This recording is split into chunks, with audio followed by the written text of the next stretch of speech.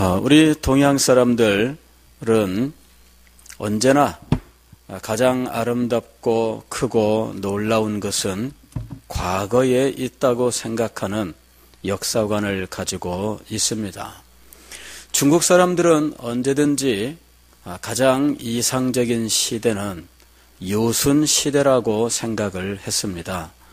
요순 시대라고 하는 것은 요임금, 순임금, 어, 이런 임금들의 시대를 이야기하는데 이것은 중국 역사에서 어, 기록으로 남아있지 않은 어, 선사 시대의 역사를 의미합니다. 그때는 뭐 가장 아름답고 이상적인 어, 시대였고 그 후로 어, 이 나라의 통치자들도 백성들도 점점 점점 어, 타락해 갔다라고 생각하는 겁니다. 그래서 공자 같은 경우도 어, 이상적인 정치의 회복을 위해서는 요순 시대가 회복돼야 된다는 생각을 가지고 있었던 거죠. 그리고 그때부터 하여튼 지금까지 사람들은 언제든지 옛날이 더 좋았어 라고 하는 생각을 갖고 또 그렇게 말을 하는 겁니다. 우리들도 흔히 쓰는 말 중에 참 요즘 애들은 버릇이 없어 이런 말들이 있죠. 예. 근데 참 요즘 애들 버릇이 없어요. 그죠? 어, 요즘 젊은이들은 뭐 외국 영향을 받아서 그런지 뭐 애인들 이렇게 둘이 다니면은 주변에 사람이 있든지 없든지 뭐 애정 표현을 하는 건지 뭔지 우리가 볼 때는 참 민망한 그런 일들이 참 많아요. 어, 예전에는 숨어서들 했잖아요. 근데 지금은 안 그래. 지금은 뭐 지하철을 타서도 보면은 둘이 딱 달라붙어 가지고 뭐 심지어는 엘리베이터를 타서 사람들이 뺑 둘러서 있는데 한가운데에서도 그러더라고. 그래서 참 이제는 말이죠. 그거 혼낼 수도 없고 혼냈다가는 큰일 나잖아요. 그죠? 어, 옛날에는 어른들이 예이놈들아 뭐 어디서 이러면은 무서워서 막 도망갔는데 요새는 힐끗 쳐다보고 노인네 왜 그래 그러면은 어 이건 그 정도면 약갑니다 뭐 그냥 오히려 어? 이 해코지를 가하면은 아 힘, 힘도 없는데 어떻게해요? 아 요즘 참 못 쓰겠어요.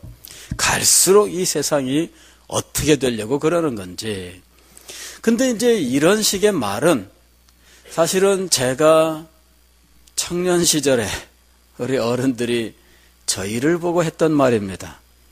그리고 그렇게 말했던 어른들은 그 어른들이 청년 시절에 또 그 위의 어른들로부터 그런 말을 들으면서 컸던 거죠. 그런데 요즘 애들 못 쓰겠어. 하, 뭐 갈수록 이 세상이 왜 이래? 이런 말은요, 신기하게도 몇 천 년 전에도 있었어요. 몇 천 년 전에도. 과거에 중국에 어, 이 사서 삼경이라고 하는 어, 이 책이 있었잖아요. 그 중에 보면은 시경이라고 하는 책이 있습니다. 시경이라고 하는 책은 아주 굉장히 오래전에 있었던 어, 일들을 기록해 놓은 책입니다. 공자 시대에도 어, 이미 오래전에 완성 그 내려오는 어, 이런 책으로 어, 아주 중요하게 여기던 책이었어요. 공자도 너희들이 시경을 읽어봤느냐 그러면서 시경을 읽어라 그랬거든요. 그래서 저도 시경을 읽어봤어요. 그랬더니 뭐 옛날에 있었던 중국의 역사 속에 있었던 뭐 아주 그, 그, 뭐, 호랑이에 담배 태우고 가던 그 옛날 시절 얘기들이 기록되어 있는 겁니다. 근데 신기하게도 거기에 어떤 말이 나오냐면은 요즘 애들은 버릇이 없어. 그 말이 나오는 거예요. 그 책이 언제적 책입니까? 어?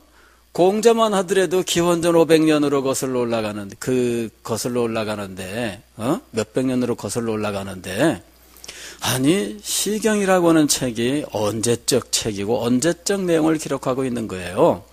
그런데 요즘 애들은 버릇이 없어. 그러는 거죠.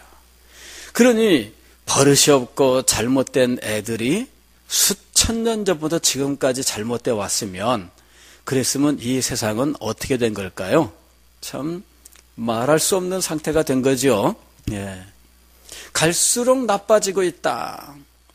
그것은 뭐 어디나 동일하게 하고 있는 말이에요. 서양에도요. 그 요즘 애들 버릇없어라고 말하는 그 역사가 아주 상당히 오래돼요. 어? 그리스 그 옛날 그 기원전 그리스 시대로부터 해서 중세를 거쳐서 그런 말들의 기록이 남아 있어요. 요즘 애들 버릇없어. 그리고 하여튼 모든 종교들은요. 하여튼 점점 나빠지고 있다. 그렇게 말을 합니다. 불교도 지금은 말세야. 그렇게 이야기하잖아요. 그죠? 아니, 불교는 끝없는 윤회를 주장하는 종교인데도 불구하고 말세를 이야기해요. 말세야. 왜? 이제는 점점 점점 세상이 악해져서 부처님 가르침, 도안 통하는 시대야. 이게 말세입니다. 어, 그래서 이제는 이 부처님이 영험하지가 않아. 새로운 부처님이 와야 돼. 그게 이제 미륵불 사상입니다. 그러니까는 지금 현재 불교는 뭐 점점 점점 이 불법이 쇠하고 그러면서 부처님 말도 안 통하는 그런 시대가 되었다고 생각하는 거죠. 그런 부처니까 종교가 엉망이 된 거예요. 그러잖아요? 뭐 거기에 스님들부터가 뭐 얼마나 얼마나 많은 문제들을 안고 있어요. 그러니 뭐 말할 수 없는 일들이 벌어지는 이유 이제 점점 점점 나빠지고 있기 때문이죠. 이렇게 보편적으로 점점점 나빠지고 있다.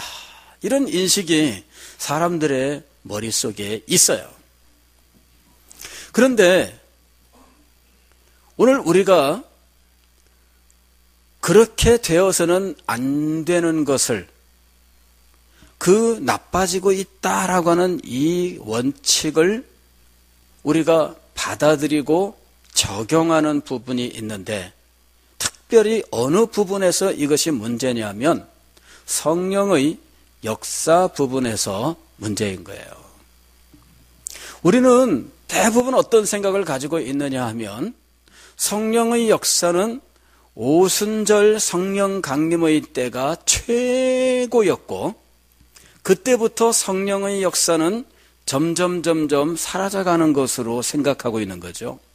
그래서 성령의 역사는 오순절 때가 최고다라고 하는 인식을 갖고 있는 거예요.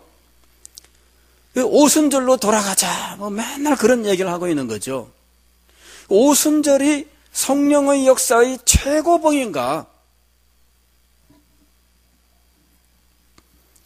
많은 분들이, 아니, 거의 대부분의 분들이 그렇게 생각을 하고 있는 거예요.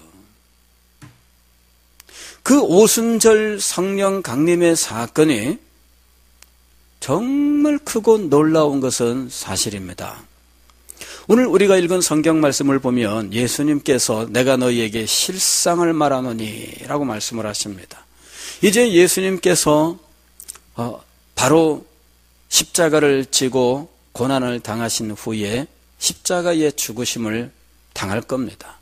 그리고 사흘 만에 부활하시고 그리고는 40일을 지내다가 승천하실 것인데 이런 더 이상 이제는 육체적으로는 제자들과 함께하지 않는 그 마지막 순간에 지금 와 있는 거예요.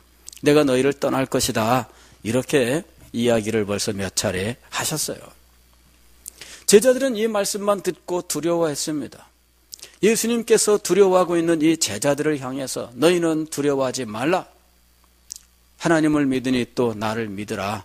그러시면서 강남산 강화를 저 다락방 강화를 하고 계시는 거죠. 그런데 예수님께서 이 두려워 떠는 제자들을 향해서 말씀하셔요. 내가 이 말을 하는데 너희는 그러면은 어디로 가십니까? 그 다음에는 또 어떤 일이 있을 것입니까? 뭐 이런 걸 물어보지 않고 그걸로 모든 것이 끝난 것처럼 두려워하고만 있는 거죠. 그걸로 모든 것이 끝나느냐? 아닙니다. 예수님께서는 내가 너희에게 실상을 말하노니 내가 떠나가는 것이 너희에게 유익이다. 왜냐하면은 내가 떠나가면 보혜사가 오실 것이다. 또 다른 보혜사가 오실 것인데 내가 가서 이 보혜사를 보내달라고 아버지한테 말씀을 드릴 것이다. 떠나가는 것이 끝이 아닙니다. 예수님의 육체의 임재는 놀라운 사건이었죠. 하나님의 영광을 버리고 인간의 육신을 입고 이 땅에 오신 하나님의 아들 예수 그리스도. 그분이 하나님 나라의 복음을 전하시고 십자가의 고난과 죽으심으로 구속을 완성하시는데 이 사건은 우리의 구원을 가능하게 하는 결정적인 사건으로서 우리들이 언제나 예수 그리스도의 이 십자가를 붙들고 자랑하고 사랑하고 이 십자가를 붙들고 살아가야 됩니다. 얼마나 중요한 일인지 몰라요. 예수님의 십자가가 아니었으면 우리의 죄사함도 없을 것이요, 우리의 구원도 없을 것이요, 우리가 하나님의 자녀됨도 없을 것이요, 하나님의 상속자가 되는 것도 없습니다. 예수님의 십자가는 우리의 생명의 근원이지요. 그리고 이 일을 이루기 위해서 예수님께서 성육신하신 이 사건은 얼마나 놀라운 일입니까? 그러나 그렇게 크고 놀라운 일, 그것보다도 더 유익한 일이 우리에게 주어지는 거예요. 우리는 십자가 사건이 가장 크고 가장 영광스럽고 가장 아름답고 가장 은혜롭다고 믿습니다. 그러나 예수님은 그것보다 더 유익한 일이 너희에게 있을 것이다. 그렇게 말씀하시고 계시는 거예요. 십자가보다 더 유익한 일이란 무엇일까? 그게 보혜사 성령의 임하심이죠. 오순절 성령 강림의 사건은 예수 그리스도의 성육신보다도 우리에게 더 큰 유익이라고 예수님께서 말씀하신 사건이에요. 놀랍죠? 십자가가 가장 크고 영광스럽다고 생각했던 우리들에게 예수님께서는 우리에게 더 유익한 사건이 있다고 말씀하고 계시는 거예요. 예수님의 이 말씀 없이 성령 강림 사건이 가장 크다라고 이야기하면 이단이 됩니다. 그러나 예수님의 이 말씀이 있는 거예요. 이 말씀의 근거에서 물론 예수님의 십자가 사건이 오순절 성령 강림 사건보다 뭐 그 중요성과 그 크기와 그 유익함이 절대적으로 작다 혹은 뭐 상대적으로 더 약하다 뭐 그런 이야기를 하는 게 아닙니다. 예수님께서 말씀하신 것은 이 십자가의 완성이 성령의 임하심으로 이루어질 것이기 때문에 그렇게 말씀을 하신 거예요.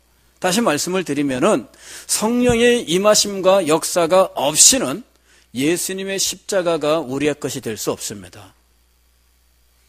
그래서 예수, 이 성령의 역사는 예수님의 십자가를 우리의 것이 되게 하고 실제로 우리에게 죄사함과 영생이 주어지는 이 일, 이것을 가능하게 하는 역사로서 성령께서 하시는 일, 그것이 있기 때문에 너희에게 더 유익이다라고 말씀을 하셨던 거죠.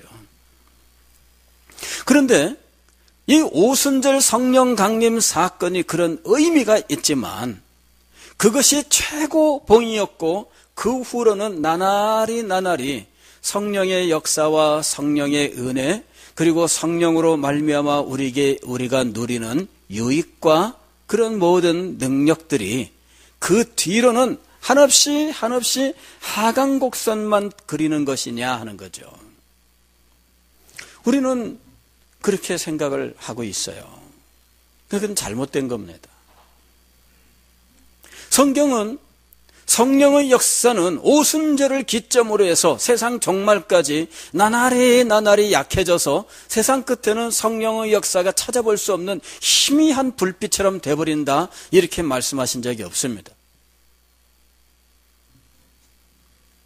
오히려 세상 끝날에는 성령의 역사가 전 세계에 광범위하게 임해서 세상의 모든 나라와 민족들이 예수 그리스도에게로 돌아오는 놀라운 일이 일어날 것이라고 말씀하고 계셔요.